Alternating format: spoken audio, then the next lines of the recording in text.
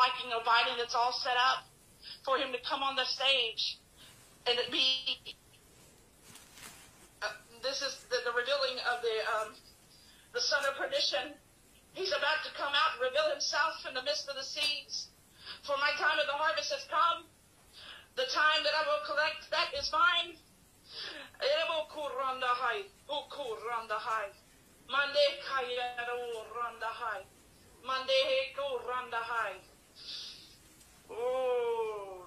Jesus.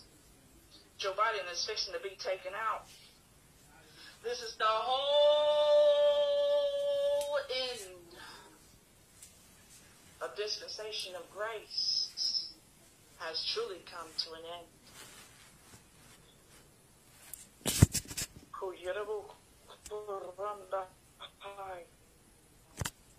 Y'all, it's before I told you.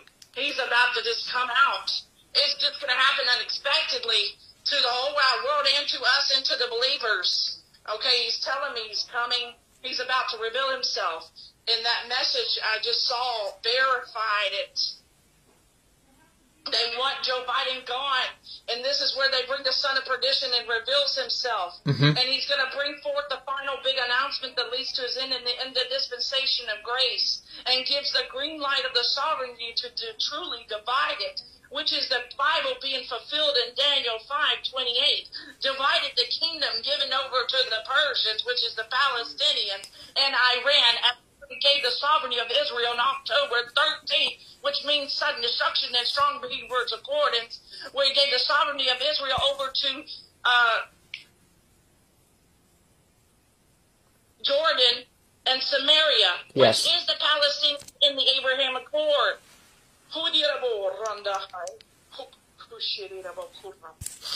I feel like, oh, Jesus, Jesus, Jesus. He's about to come on the stage. Mm-hmm. They don't want Biden no more. He been trying to tell you all. He wasn't president in the first place. But since the world is so deceived and distracted by Satan's little tactics, it's called the delusion on the world, the deception. Ooh, for the time of the harvest is now, my family. My people, my people, I come quickly.